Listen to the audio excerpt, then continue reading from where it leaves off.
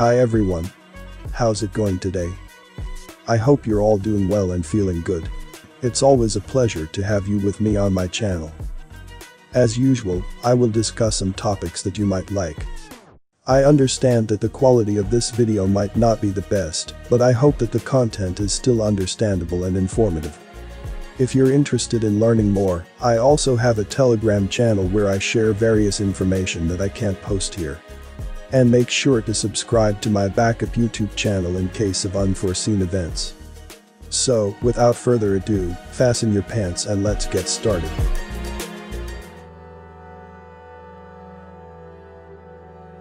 I know that there is a lot going on in the world right now, but I just had to talk about what is happening to our banks.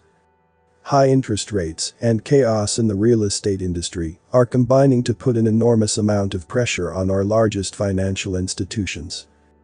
As a result, banks are getting very tight with their money, they are closing down hundreds of branches, and they are laying off thousands of workers.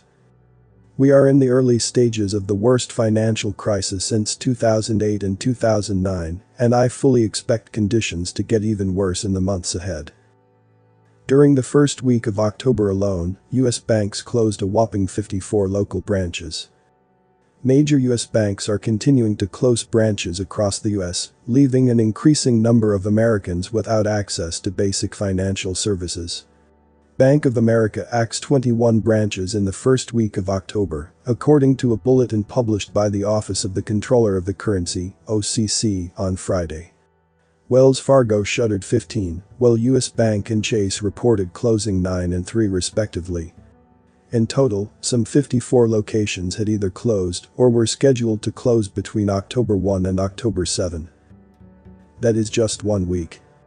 Of course, bank branches have been closing at a frightening pace for quite some time now.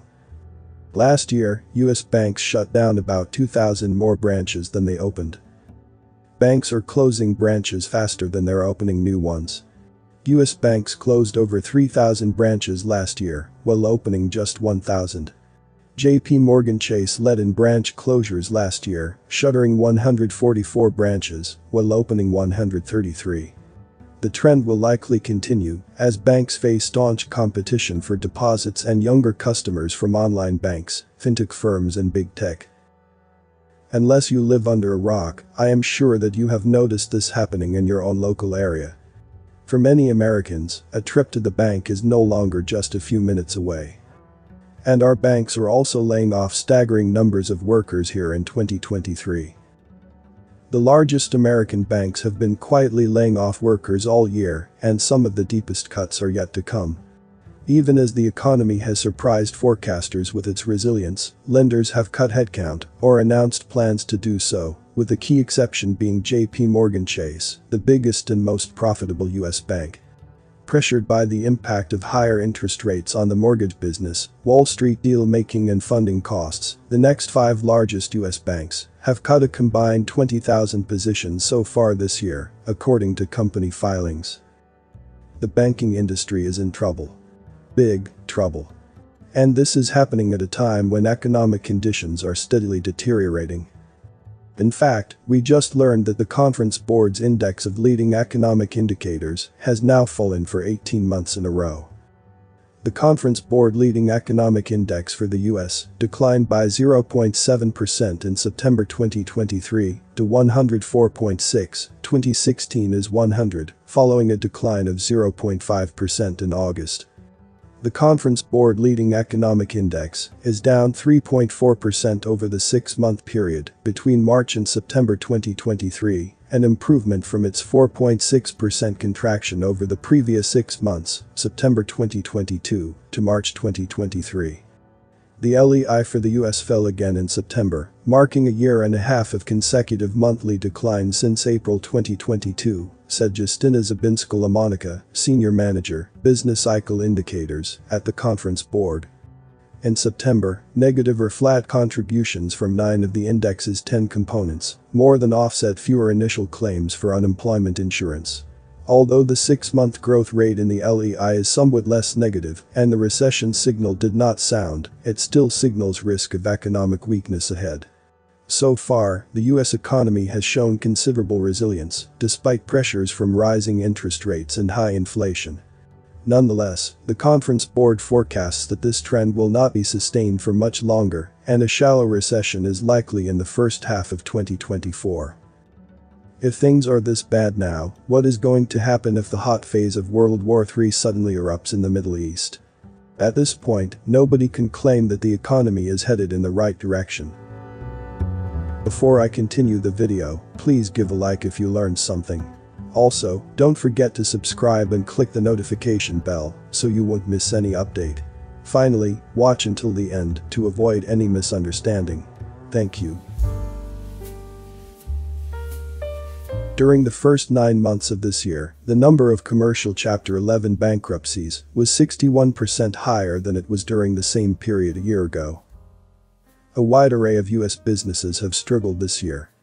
In the first nine months of 2023, commercial Chapter 11 bankruptcies have soared 61% year over year to 4,553, according to Epiq Bankruptcy, which provides US bankruptcy filing data.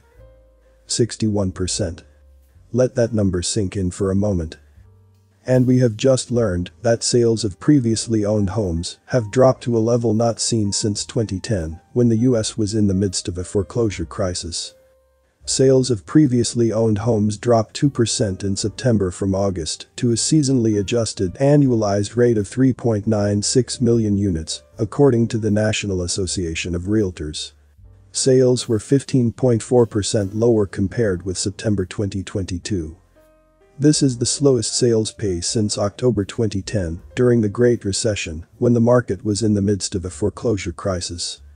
As a comparison, just two years ago, when mortgage rates hovered around 3%, home sales were running at a 6.6 million pace.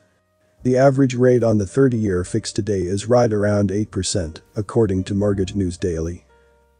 Speaking of home foreclosures, they are up 34% compared to the same time in 2022.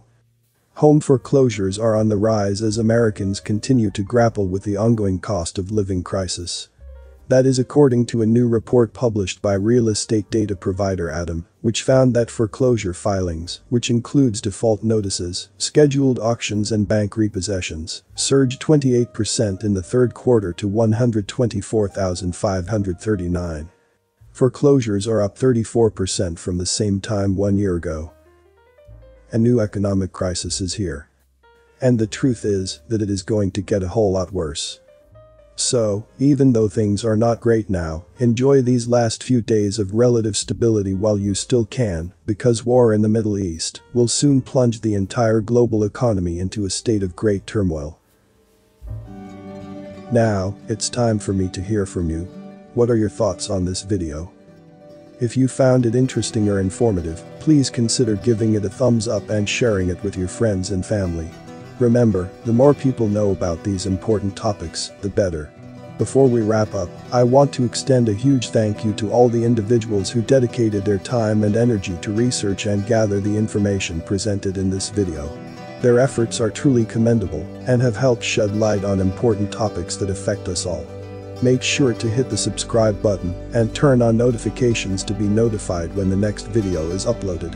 Thanks for watching and I'll see you in the next one.